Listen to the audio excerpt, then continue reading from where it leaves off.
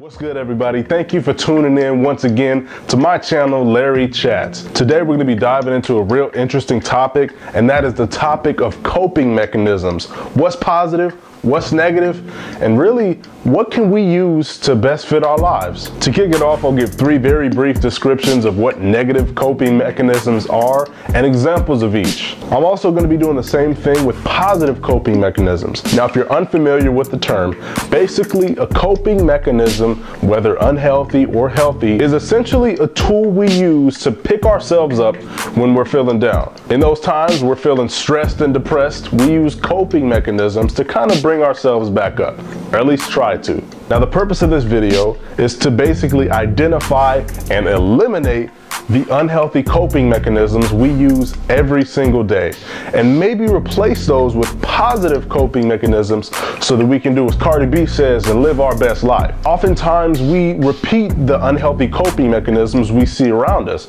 Some of them are taught to us inadvertently. For example, if you see your dad drinking every single time he feels sad or every time something doesn't go his way, then you might pick up a bottle and repeat the same thing. Many times with coping mechanisms, unhealthy especially, we don't really identify it or understand it until we find ourselves in a big mess that we have to fix. So I'll give you five healthy and five unhealthy coping mechanisms in a way to kind of curb the potential of loss. Number one, we have eating. Eating can sometimes be an unhealthy coping mechanism, mainly because some of us eat our emotions. Not only does this have certain physical grandeurs, but it also creates a barrier with our health. To add on to that, as I'll say with substance abuse and a couple of others, the main problem with stuff or anything to do with obtaining is it's never enough. You're always gonna want more because you're not satisfied in the end. Number two, we have artificial chemical alterations. This is more often known as substance usage. This is off the bat an unhealthy coping mechanism, mainly because when the substance runs out, we're still looking for more. In addition to creating different addictions and different problems for us health-wise, these things never end well. Even if you don't end up having different health problems, having different addictions, or just having different ailments because of the substance you are using, you're still always gonna want more. This can turn into a very expensive and very consequential habit. And this is really any substance. This isn't specific to one type of thing. It's not only alcohol or cigarette. We want to stay away from using these different substances because this is our body. We only get one and we should probably take care of it if we want to be here for a while. Number three, bottling up your emotions. Now this is very obvious as to why it's unhealthy, but it's not very obvious when we do it. Holding back how we feel, holding back things we want to say, and really just holding back who we are as a person can eventually become one of the most destructive traits people have. One of the main reasons this is a huge problem is because like a shaken up bottle of soda, eventually it's just gonna burst. Eventually something's gonna screw the top off a little bit and all the compression, all the pressure, all the stress, everything that's been building up is gonna erupt like a volcano and somebody might die. When something's bothering you or maybe you're uncomfortable in a situation or maybe you just don't like something, let that be known. On one hand, you can solve the issue that you're having a problem with and on the other hand, you release whatever stress, whatever feelings that you had initially. This way you don't have to wait for them to resurface and then fight back the demons later. Number four, buying stuff. Not only is this a very financially stringent issue, this can also turn into an issue of what I like to call the squirrel syndrome. Sometimes people feel like they need to be like squirrels or they feel like our existence is only to be like squirrels where they collect a whole bunch of stuff. Sometimes we feel like we have to collect stuff to kind of replace the missing pieces that we have in ourselves. More often than not, even if this isn't a financial issue and it's not a financial burden to you because you just have it like that,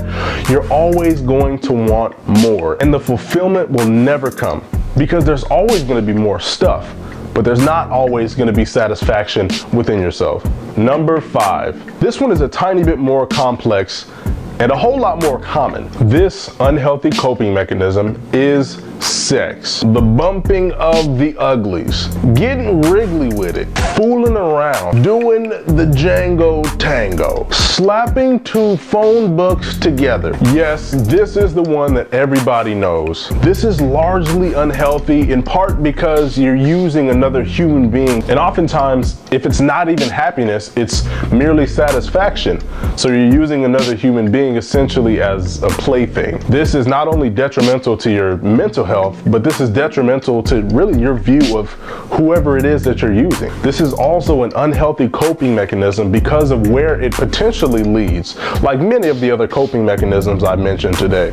Given the opportunity for using another person's body, often one would not turn this down, and this could result in things like sexually transmitted diseases, unwanted pregnancies, or even unwanted relationships. Even if you're married and committed to one person for the rest of your entire life, this is still an unhealthy coping mechanism because that is still another human being. I would personally advise you to stay away from all five of these unhealthy coping mechanisms, but I would definitely stay away from number five. Now that we've got the bad news out of the way, here comes the good part. I'm gonna give you five healthy coping mechanisms that you can implement immediately, and I mean starting now. Number one, and my personal most recommended coping mechanism, face the problem. In all honesty, a lot of these mechanisms are used to kind of make ourselves feel better, pick ourselves up in some sort of way, but honestly, the most effective way to get rid of a problem or eliminate something that's bothering you is to just face it head on. Whatever solutions you might have or really whatever probable action you can take to solve the problem, is very important and shouldn't be taken lightly. Of course, this only applies if there is a problem and it's not just something like a feeling of being overwhelmed or a feeling of stress. Number two, sleep go take a nap. Just go turn on the alarm for 10 minutes and go crash out. Just take 10 minutes wherever you are, even if you got to go in your car. Take 10 minutes, turn on the timer, and just snooze out for a good 10. You'll wake up feeling refreshed and feeling like you can conquer the world. Number three, pray. I completely understand if you aren't religious or you don't believe in God or really whatever other obstacle can present itself when I said the word pray. If you call it meditation, if you call it prayer, no matter what, this is imperative. Just taking time for yourself to kind of reflect on what you're doing, on how you're doing, not only assess yourself, but to find an inner peace within yourself uh, in relation to God or even just in relation to what's around you is outstandingly beneficial to your mental health. Find a secret place, find a quiet place, breathe in, breathe out. For those of us that pray, talk, cry, shout, do whatever it is that you have to do to vent and release whatever might be pent up inside of you. Number four, count. Now this may seem like a very odd tactic or a very confusing coping mechanism. This is one of the healthy coping mechanisms that you can do anywhere at any time with no cost to you whatsoever. A lot of people use this as a technique of meditation.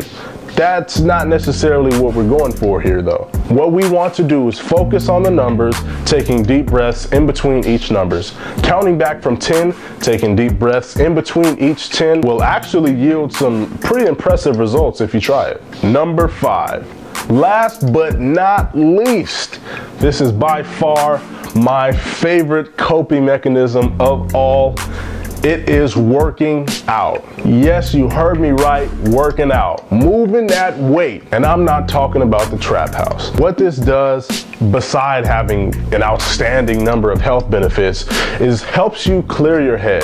This also forces perspiration. And whenever you sweat, you release what's called endorphins. These endorphins help you feel better because these are natural chemicals that your body's releasing. You also release endorphins whenever you hug somebody for a long time time or you laugh or whenever you just eat something that's really really good. And although those three things can be used as coping mechanisms as well, more often than not, working out is going to yield better results than all three of those combined. The purpose of this video is not to boast about my outstanding mental health or flex my knowledge muscles on coping mechanisms, but it's really to help gear you and kind of steer you away from what could be destroying your life and put into place what could build your life. So if this video helped you, or maybe you feel like it can help somebody around you, make sure you share it, make sure you subscribe, make sure you like it, and drop a comment down below if you feel like I missed something or you feel like I could throw something in the next video.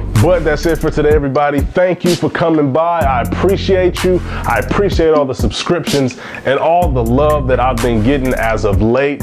Please stay tuned because every single Monday new content is coming at you. That's it for this week, guys. I'll see you next Monday.